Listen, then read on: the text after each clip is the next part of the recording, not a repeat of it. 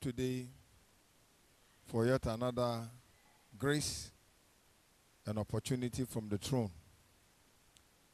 Today we want to share with you the Word of God from Faith Life TV, Dispensational Gospel Mission Kwesime Team Assembly. I'm Reverend Samuel Teiko-Tagoe.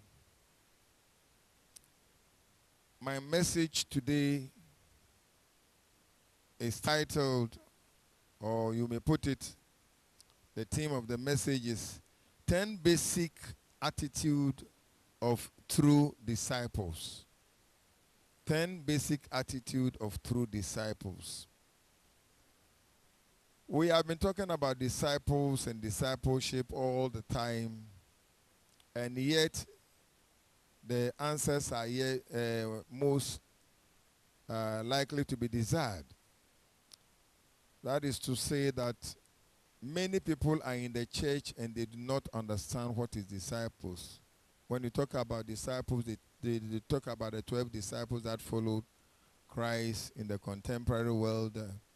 And uh, when you come forward a little, those advanced also things about those in ministry as disciples, but they forget that themselves that every one of us following after Christ, we are Christ's apprentice, learning to become matured and come to the measure and stature of the Lord Jesus Christ.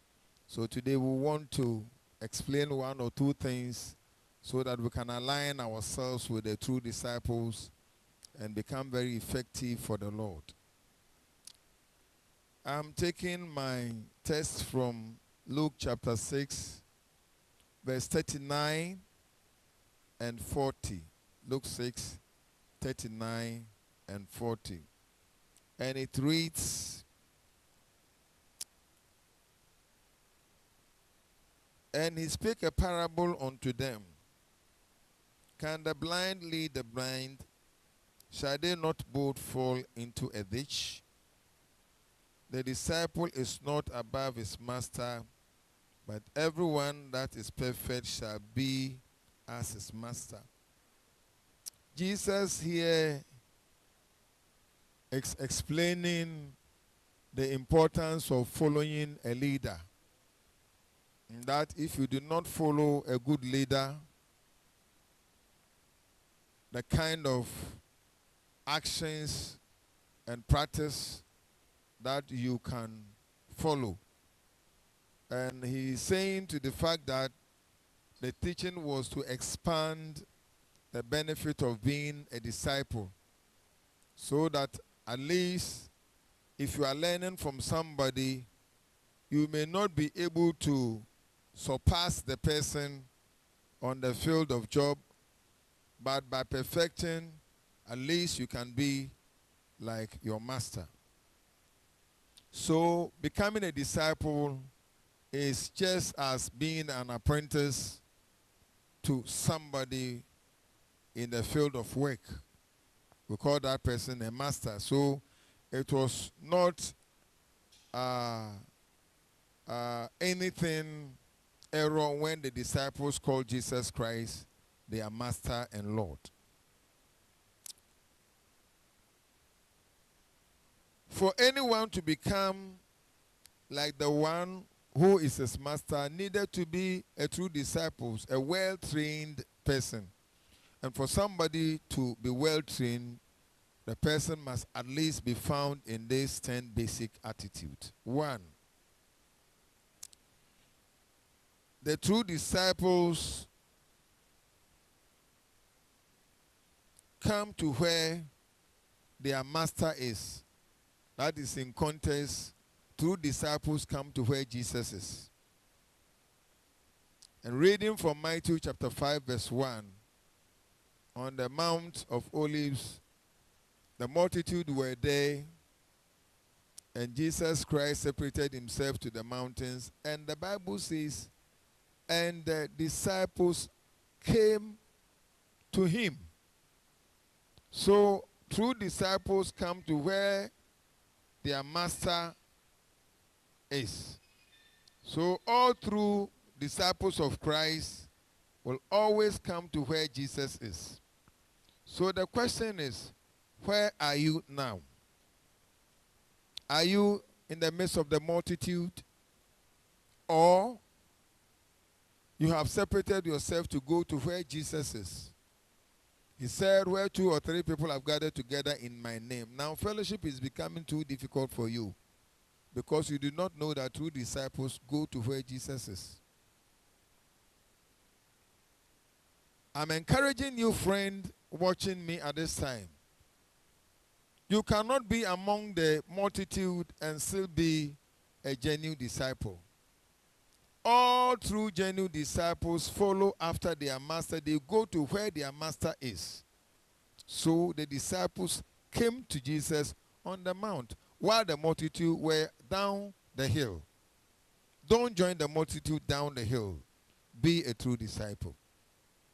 Number two, the true disciples follow after Christ. They followed after him. In chapter 8 of Matthew and verses 22 and 23. Verses 22 and 23. Matthew chapter 8, verses 22 and 23. And Jesus said unto him, Follow me, and let the dead bury their dead. And when he was entered into a ship, his disciples followed him. His disciples followed him because they have chosen to follow after him. Before we came to the verse 22, a certain man had an interest in Jesus' ministry and we want to follow. But when he was required to follow, he said, I want to go home and bury my old age parent. And Jesus told him, Let the dead bury their dead and come and follow me. Because all the disciples who were following Christ at that time had one or two problems outside their ministry. They have all these problems with their families and wherever they are uh, uh, uh, uh field of work were. But because they have chosen to become his disciples, to learn from him, they followed after him. So they followed Jesus wherever he went. Today, I want to tell you being a disciple is not to be in your home and tell people I have a clean heart, so I pray in my house and I'm a righteous man. Nobody is condemning you. But uh, the Bible also says that the heart of man is deceitful. So if you want to be a true disciple of Christ, a true learner of Christ, then you must learn to follow wherever the command comes that you go after Christ. Do you want to follow your friends? Do you want to follow your business? Or you want to be a, a true disciple who is a follower? We need to follow after Christ. Number three, the true disciples awake the master in times of trouble. When they cross over and they join the master in the ship after Christ has sent the multitude away from Matthew 9. By the time we reach verses 25, uh, Matthew 8, sorry, by the time we reach verses 25, when they joined Jesus Christ in the ship, there was a, a tempest, storm. And Jesus was asleep while they were paddling. They tried all they could to rescue the boat, but it was all to no avail. Then, because they have come to him and followed him, they have the onerous duty to awake him from his sleep. It was not a matter of disturbing him, it was a matter of urgent. Those who learn after their masters, they awake their masters from their sleep. If your master is doing something wrong or if your master is not responding to what he's supposed to be teaching you, you prompt him. So Jesus Christ was sleeping and their lives were at stake, so they prompted him. This means they talk to Christ. And as a Christian, you must learn how to pray. You must learn how to prompt Christ in every situation. Now there is a tempest against your faith, and you are nowhere to be found. I want to assure you, if you're a true believer, you will want to follow after and you want to awake your master in any time of trouble. And the master responded, and his, their lives received a tremendous miracle, bringing them to the knowledge of who Christ really was. If you want to come to Christ and follow after him, and you will be able to awake him, you will then know or you will then have the true revelation of Jesus Christ, who he really is. Then we will go to number three. Number three, uh, number four. The true disciple inquires to understand mysteries of issues of their field of work, i.e., the kingdom of God. If you are a true disciple like those who followed Christ, because they are the biggest example for us to follow. When Jesus spoke concerning the seed and the field, he started speaking, speaking to the people, the multitude, with the disciples in parable. And the disciples came to inquire, Why are you talking to the people in parables? But Jesus never answered them. He spoke to them until he completely finished. And by the time we reach verse 15 of Matthew 13, Jesus had already explained why the people would not understand him. For he said, It is not for the people to understand, but for them as disciples, it has, it has been given to them to understand. Why? Because they were learning to understand, so they have to probe to understand. And Jesus said, These people have dull ears and uh, uh, uh, uh, blind eyes, and they could not hear, they could not see. But for them, it has been given to them to understand. So he started explaining the issue to them from verses 36. From verses 36 of Matthew 13. Verses 36 of Matthew 13. Then Jesus sent the multitude away and went into the house, and the disciples came unto him, saying, Declare unto us the parable of the tares of the field.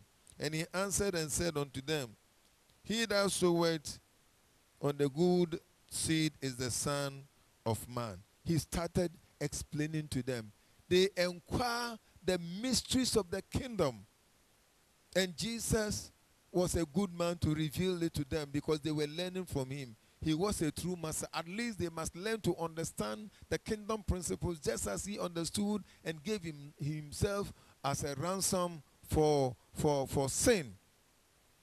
Today, we have Christians who do not want to know anything about their faith, anything about their church, anything about their pastor, anything about their Lord, anything about their kingdom. And it behooves on you to make an inquiry about your faith so that you will be well established and defend yourself at any time and defend the gospel and defend the kingdom so that you will be able to preach and teach other people. May God help us. Now, for time's sake, I want to finish on the number five and then gracefully we shall continue from verse 6, 7, 8, and 9 and 10 on next week. So in number 5, through disciples' work whilst the multitude only enjoy. In Matthew chapter 14, Jesus Christ and the disciple had an encounter. And the encounter was that people have come to follow Christ as usual. They came in for their various wants and needs. And after the night was settling, the disciples appealed to Jesus that these people must be sent away. And Jesus said, No, they did not come to you, they came to me. So he told them they have to be fed. Disciples did their best to bring some five loaves of bread and two fishes. And Jesus prayed and settled them on the grass, on land. And the disciples took the bread and shared. After they have finished, listen to what happened in verses 22 of Matthew 14 and 23. And straightway Jesus constrained his disciples to get into a ship and to go before him onto the other side while he sent the multitude away. And when he had sent the multitude away, he went up into a mountain apart and prayed. And when the evening was come, he was there alone. So Jesus Christ has to do another thing, showing an example. The people has finished eating. There are so many people who come to church only to eat and go away. But the true disciples will always follow Christ. Christ separated them and said them, Go before me, you have another task to do. And they did not complain. They joined the ship and went away, while the other all the followers went other side. I'm asking you a question. Are you part of the multitude or you are part of the disciples? True disciples have an attitude of following after Christ. And even after a day's tedious work, they will still obey Christ to be with him. They joined him, they separated themselves. There are so many people in the churches, they only come to enjoy service. They come to enjoy miracles. They come to enjoy other things in the church. But they do not give themselves up to any tax. It was the duty of the disciples to go and find bread to give to the multitude. As a true disciple, you will find a means of having bread for the multitude who are always looking up to Christ for something, one thing or the other. The true disciples followed after Christ. They took the bread from his hand after he has prayed, and they shared it to the multitude, thousands of people. They were able even to gather the fragment of it and package it. It was not enough. Christ told them to join him on the other side because they have a duty to perform by following after him. Friend, where do you belong? In the multitude or among the disciples? I'm encouraging you in this time of pandemic that you be a true disciple. You go to where your pastor has apportioned for you to go to cells. When you are called to come to a place to pray, don't give reasons, don't give reasons, don't give reasons. Don't try to use your work as an excuse to go away. You are only joining the multitude. True multitude learn of their masters and they become masters themselves. May God help us. May God help us all. Even as you are looking at me, I'm calling you to become a true disciple of Christ.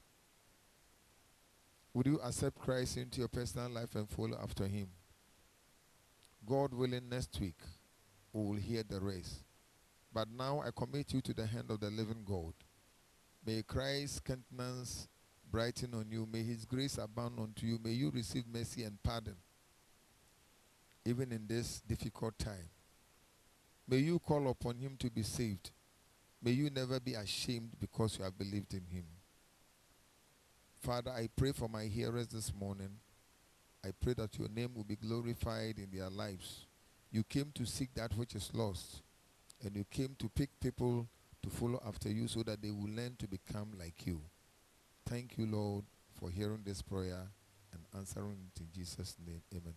I want you to keep the protocols, stay safe, trust in God, believe in Christ, and you will never be the same. God bless you. This is Faith Life TV. So if you want to follow us, hashtag Faith Life TV and uh, you will hear or you you can subscribe to our YouTube, Faith Life TV, YouTube. You go to Faith Life TV, you go and meet us there. You can follow after all our messages. If you want to call on me, the number is 0244 020643. 0244 020643. And the name is Reverend Samuel Teiko-Tagoe. God bless you.